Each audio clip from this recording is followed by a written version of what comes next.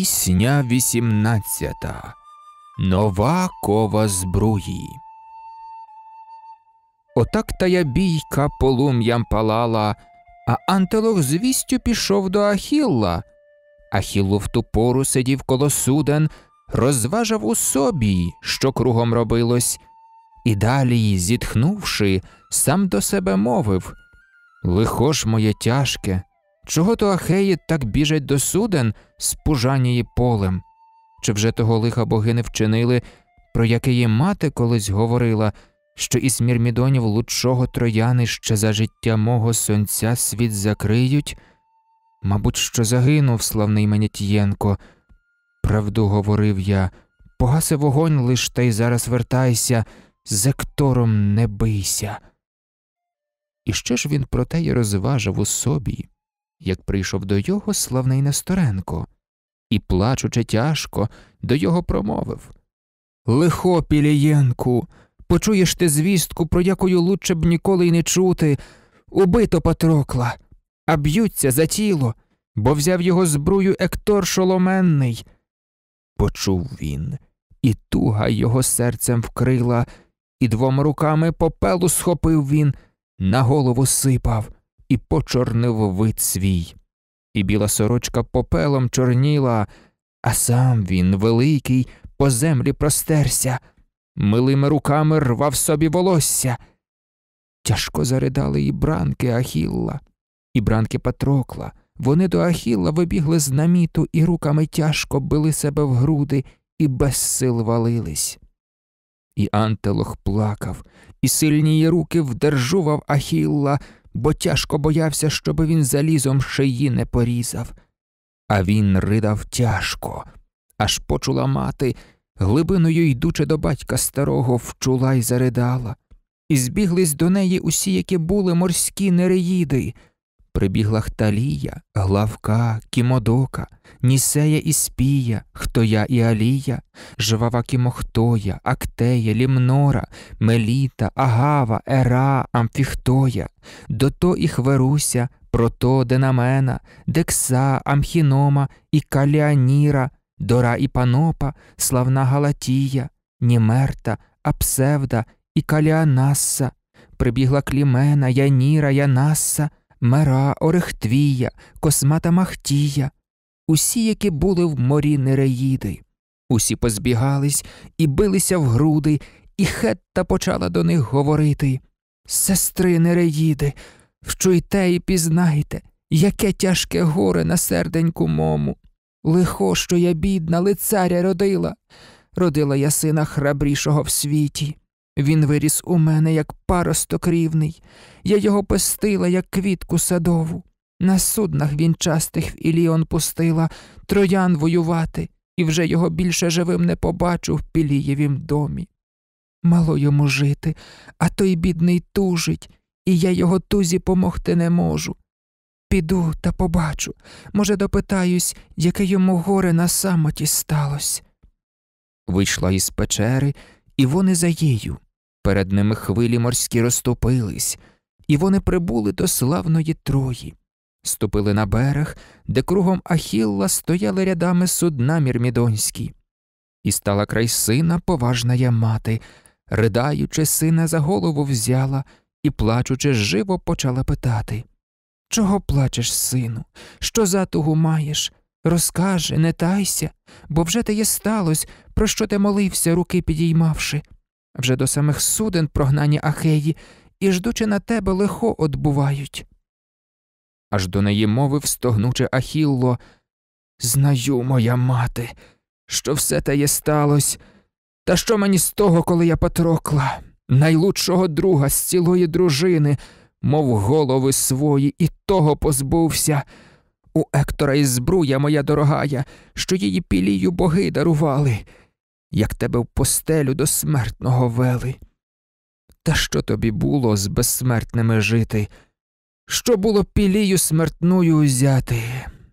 Тепер сама мусиш плакати за сином, що його вже більше дома не побачиш, бо мені ніколи серце не позволить між людями бути, поки Ектор Первий одратища мого духу не позбуде. Заїм за Патрокла, за Манітієнка. Аж мовила Хетта, сльозами залившись. Правду, сину, кажеш, загинеш ти живо, загинеш ти, сину, за Ектором слідом. До неї зітхнувши, Ахілло промовив Все одно вмирати, коли я й друга не міг слабонити. Далеко помер він і звав мене, мабуть, до помочі стати. Тепер я й в землю рідну не вернуся, і тут не поміг я ні тому Патроклу, ні другій дружині, що в Ектора згибла. Сиджу коло суден, отсиджую землю, а я ж із Ахеїв до бійки найлучший, бо до ради є в нас лучії другії, щоб та вражба Божа та людська є щезла, і злість, що і мудрих до біди доводить. Спочатку здається солодше од меду, а потім у серці як дим виростає. Довів Гамемнон цар і мене до злості. Ну ми і не раді, та є позабудьмо, та хоч по неволі серце заспокоймо. Іду, може, в полі Ектора побачу, що погубив душу, а вмерти готов я, коли дій захоче та другі безсмертні. Смерті не вхилився і славний Іракло, що був наймиліший дієві Кроненку, но і размарою і того вморили. А прийдуть до мене, то й я одам душу. А тепер я хотів би тільки славу мати, щоби із троянок та славних дарданок не одна од горя обома руками сльози утирала, стонаючи тяжко. Хай знають, що довго я не був на бійці. Іду, не задержуй, мене не вговориш. Аж до його й каже хета сріблонога. Правду, сину, кажеш, не зле є то діло, дружині в нещасті поміч подавати. Коли твою зброю мідну та блискучу трояни забрали, Ектор Шоломенний взяв її на себе і її хвалиться. Недовго хвалиться, бо смерть коло його. Ну й ти стережися, не ходи на бійку, поки мене знову в себе не побачиш. Завтра, чуть на зорю, я до тебе прийду і принесу славну от іхвеста зброю.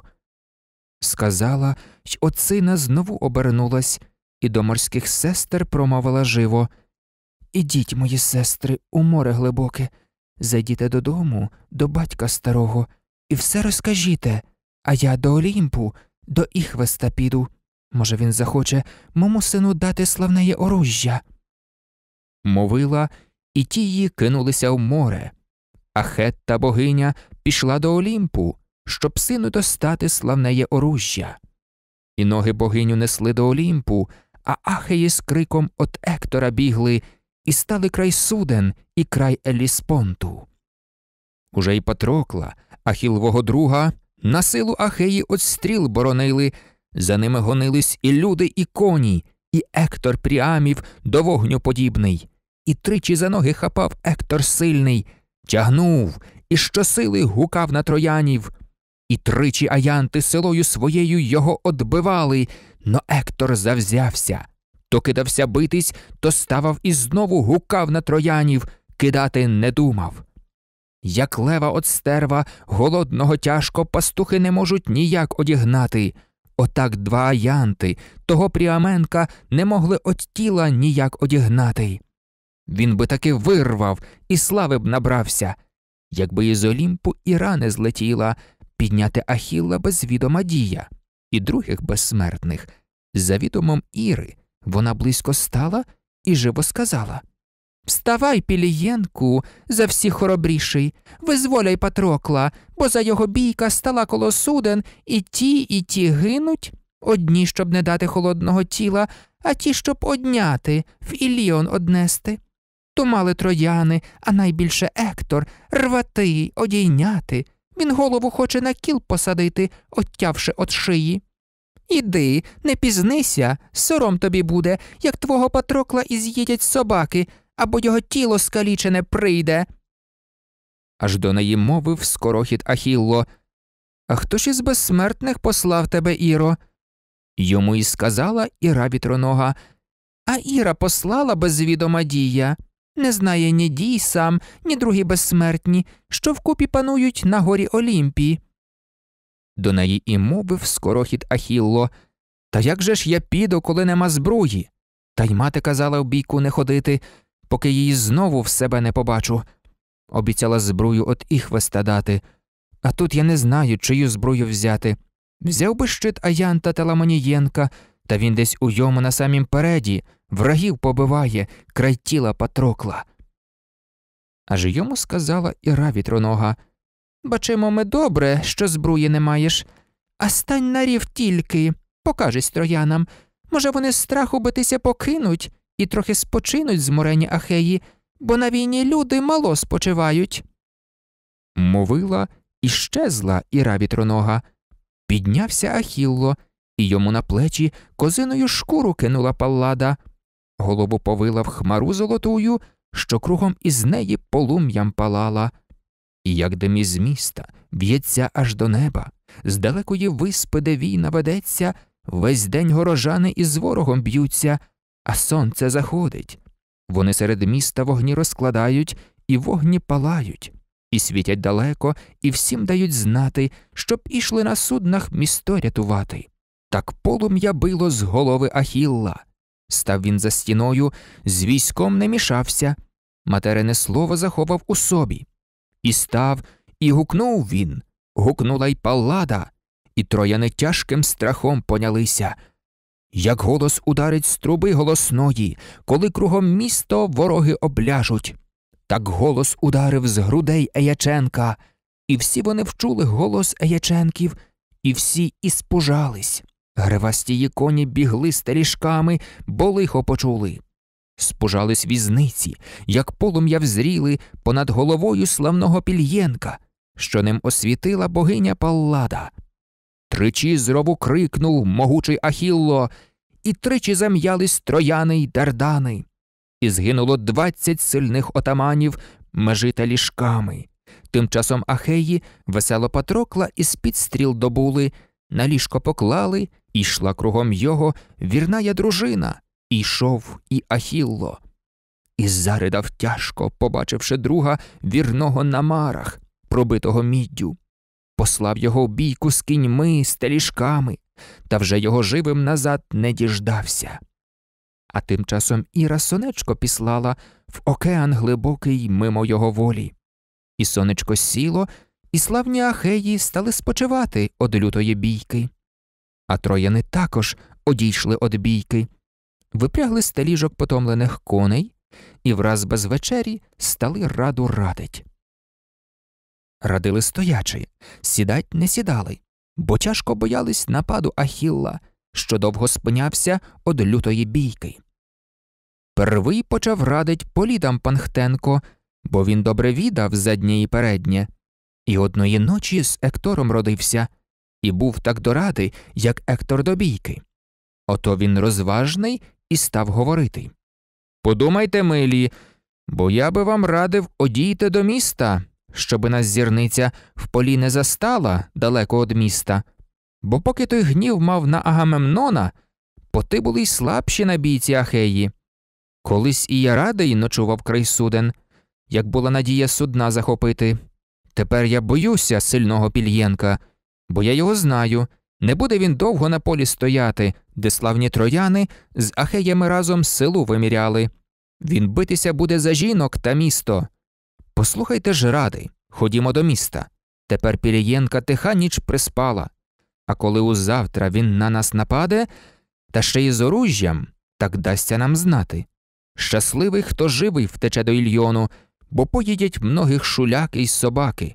Бог дай мені того й слухом не слихати, а коли ви мої слухаєте ради, так лучше на ринку ніч переночуєм, башти та ворота та збиті двері, кріпкі ї тисові заслоною будуть, а взавтра у збруї станемо на баштах. І тому погибель, хто прийде от суден, під наші стіни з нами воюватись. Він живо до суден побіжить і знову, край нашого міста коней потомивши, а в місто забратись сили не достане, бо перше самого їстимуть собаки. Аж промовив грізно Ектор Шоломенний. А мені не мила така я порада, щоби нам до міста знову отступати. Чи ж вам не настило у баштах сидіти? Колись була слава, що місто Пріама на злото багате і намідь багате. Тепер усі скарби з домів пощезали, багато в Міону, багато й впригу пішло наших скарбів, коли дій озлився. Тепер же, як дій дав великою славу до суден та моря прогнати ахеїв, так ти своїх думок і не каже людям, бо ніхто з троянів на те не пристане. Послухайте лучше, що я вам і скажу. Ідіть на вечерю всі до свого війська, та поставте чаші і кажний не спіте. А хто із троянів журиться за скарби, нехай тії скарби передасть на військо, лучше своїм дати, ніж дати ахеям. А взавтра до світу, зброю зодягнувши, ударимо разом на суд на постії. І коли Ахілло встане коло суден, горе йому буде. Тепер я от бою не буду тікати, стану і побачу, чи він переможе, чи я переможу. Енвал не питає і б'ючого губить. Мовив, і трояни дурні загукали, бо паллада розум у них одійняла, Ектор злеє радив, так усі пристали, а полідам добре ніхто не послухав. Всі по своїх станах вечеряти стали, а ті над Патроклом цілу ніч ридали. Із них Пілієнко первий став ридати, положивши руки на груди Патрокла. І ревів він тяжко, мов лев бородатий. Коли його діток у чорному лісі забере мисливий. Він тяжко сумує і сумний блукає, шукаючи сліду того чоловіка, і тяжко лютує. Так до Мірмідонів ревав і Ахілло. Лихо моє тяжке. Пропало те слово, що ним потішав я старого Меніта. Приведу, казав я сина до опонту, як розбія Трої, спільника добичі. Та не всі дій мислі людські сповняє. Обом нам судилось кровію полити землю коло Трої, і мене живого вдома не зустрінуть ні пілі, ні хетта. Мене тут покриє земля сироває. Раніше ти згинув, но я тебе, друже, поти не сховаю, аж поки я збруї разом з головою з Ектора не здійму, та поки дванадцять молодих троянів коло вогню твого мечем не поріжу. А тепер край суден лежатимеш, друже. І тут над тобою дні і ночі будуть ридати троянки та славні дарданки, що ми їх добули з селою своєю, як городи людські прахом розсипали. І звелів Ахілло вірнії дружині велику триніжку на вогонь покласти, щоб живо Патрокла от крові обмити. І вони триногий казан положили, водою налили і дров підложили, і полум'я разом казан обійняло. А коли у йому вода закипіла, вони тіло вмили, оливою злили, дев'яти літ маззю рани заліпили, поклали на ліжко, з голови донизу полотном обвили, покрили покрівлям, і всю ніч з Ахіллом славні мірмідони край тіла Патрокла плакали й ридали. Аж дій на Олімпі до Іри промовив Дождалась ти свого Іроволо ока, таки підійняла скорого Ахілла. Мабуть, що Ахеї от тебе походять. А йому сказала Іра Волоока Та що ж бо ти кажеш, злючий Кронієнку? І чоловік зробить те я чоловіку, хоча він і смертний, і знає не стільки. Як же ж я найвища, як кажуть богиня, найвища і родом, і спанням з тобою, а ти над усіми безсмертними рядиш. Не можу троянам лиха наробити. Так вони обоє собі розмовляли. А тим часом Хетта к Іхвесту прибула, в його дім нетлінний, мідяний, зірчастий, що собі на диво скував кривоногий. Вона його в поті найшла коло міхів, бо він кував разом аж двадцять три ніжок, щоби їх поставить край свого будинку, і робив до ніжок злоті коріщата, щоб самі собою до богів котились, і самі собою додому котились.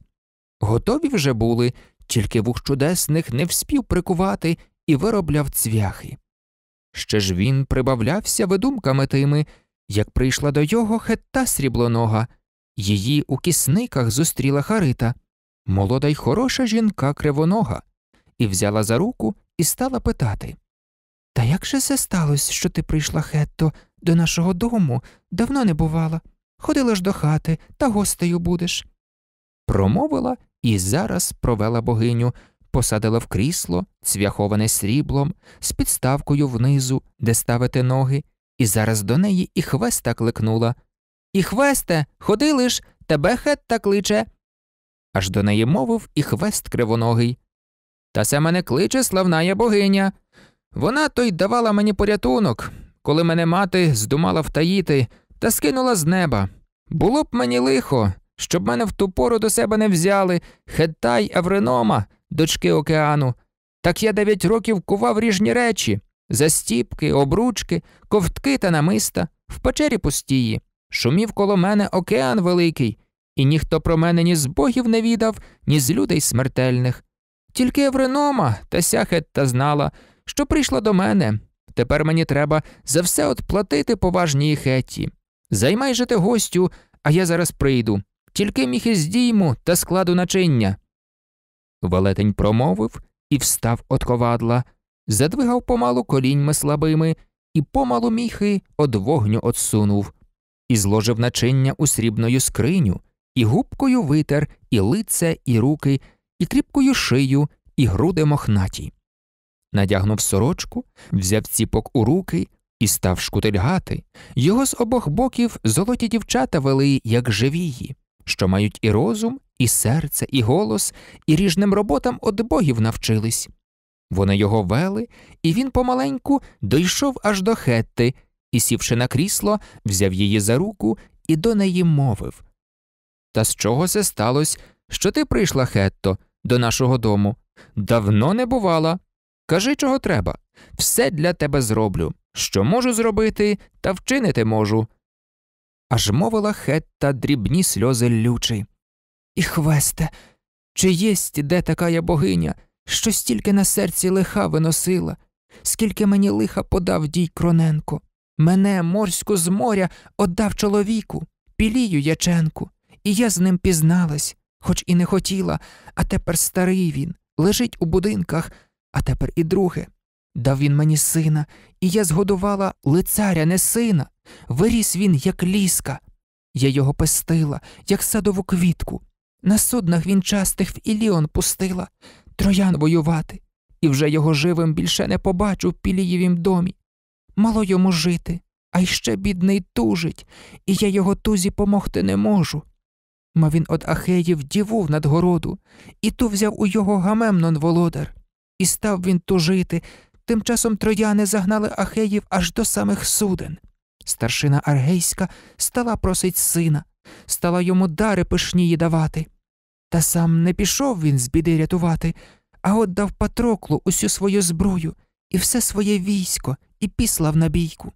Цілий день він бився у скейській брамі, і того дня був би й завоював місто, щоб Аполлон злючий не вбив мені тієнка та не подав зразу Екторові слави. Тепер тебе прошу, воли мою волю, дай синові мому добрий щит та шолом, виступці хороші і кріпкою броню, бо його трояни взяли із Патрокла, і тепер лежить він по землі простертий. І до неї мовив і хвест кривоногий Не журися, Хетто, не муч свого серця, щоб я так от смерті міг порятувати, коли йому прийде смертна година. Як можу скувати таке є оружжя, що хто лиш погляне, буде дивуватись? Промовив, піднявся і пішов до міхів, до вогню присунув, сказав роздувати, і міхи всі двадцять стали в дюри дути, і стали на вугля ріжно подувати, то порою сильно, то порою слабо, як їх вестухтілось, так як нужда була, і кинув він разом на вугля гаряче і кріпкої міді, і злота та срібла, поклав на коватло велику ковальню і взяв молот тяжкий і кліщі у руки. І спочатку щит він викував великий, цяцькований всюди, кругом його обід тройчатий, і ясний із ременем срібним, і щит п'ятилисний, і на тому щиті великі дива пороблені були, і земля там була, і небо, і море, сонце невтомиме, і місяць під повень, і всі тії зорі, що небо вінчають, пліяда, іада, Оріон і Арктос, що його попросту возом називають, бо він тільки ходить кругом Оріона, а до океану митися не ходить. Там же і два міста вироблено було. У первому місті весілля справляють, молодих присвітлювали через місто, дівчата співали весільні пісні, хлопці танцювали, кобзи та бандури до танцю їм грали, Жінки на воротях стояли, дивились, а там серед міста збиралися люди, бо сварка піднялась, двоє посварились за плату задушну, і один з них клявся, що все отдав тому, а другий присягся, що він не брав плати, і взялись обидва свідками кінчити. Люди потурали то тому, то тому, кликуни ходили, людей замовляли, а старії кругом на лавах сиділи, і в руках їх були ціпки золотії. І вони вставали, в колію судили, і два перед ними дукачі лежали. Це було для того, хто лучше розсудить. У другому місці два стани стояли з оружжям блискучим. Вороги бажали, аби місто взяти, або з міста взяти всього половину, що в йому найдеться. А ті, що в місті, на засіду взялись, зібрали на стіни і жінок, і хлопців, і старих для виду, а самі за місто. За містом їх вели ярій та паллада, самі золотії в золотих одежах, хороші, високі, звичайно, як боги, бо смертні люди такі не бувають. А коли прибули, де мали засісти, край самої річки коло водопою, вони і засіли, закрившися міддю. Тільки двох от себе пустили дивитись, коли йтимуть вівці та воли рогаті. Аж живо заграли два пастухи в полі, вони стадо гнали, нічого й не знали.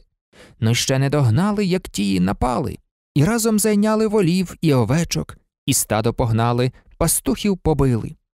Аж зачули й тії крики коло стада, сидячи на раді, і зараз на коней живо посідали і живо прибули.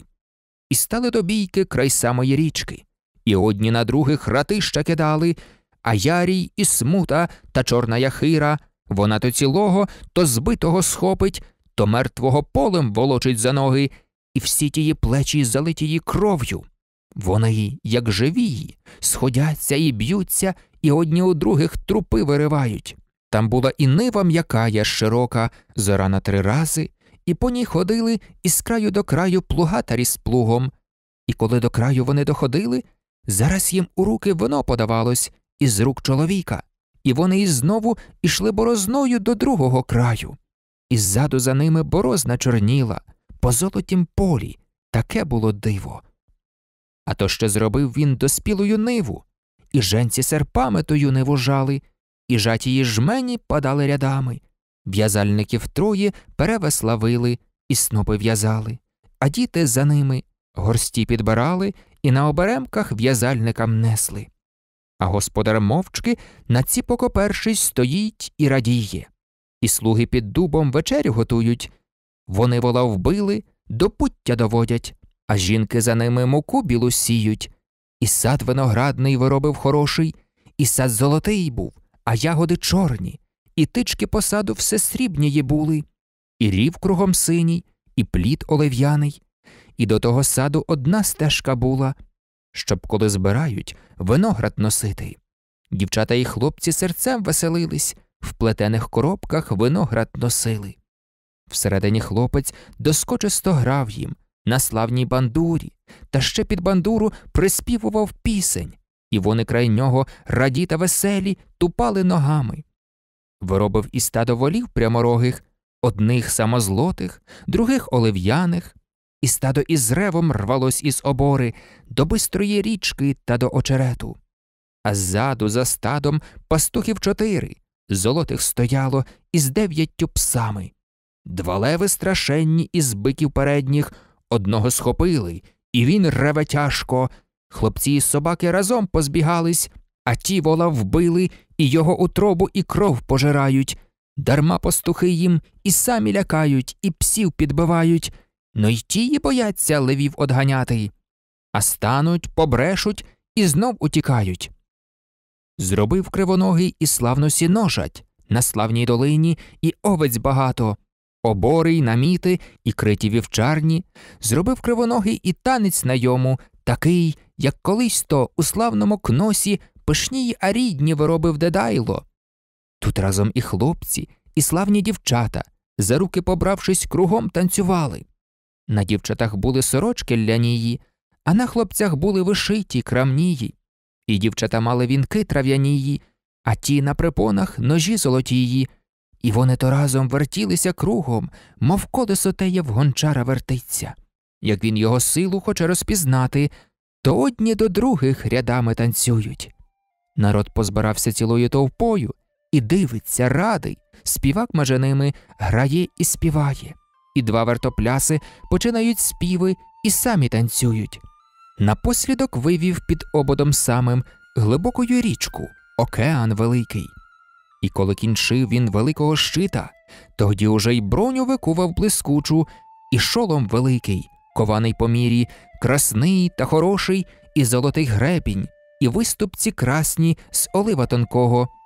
І коли всю збрую кінчив кривоногий, зараз її виніс Ахілловій мамі, і вона, як яструб, кинулась Олімпу, блискучою броню от іхвеста взявши.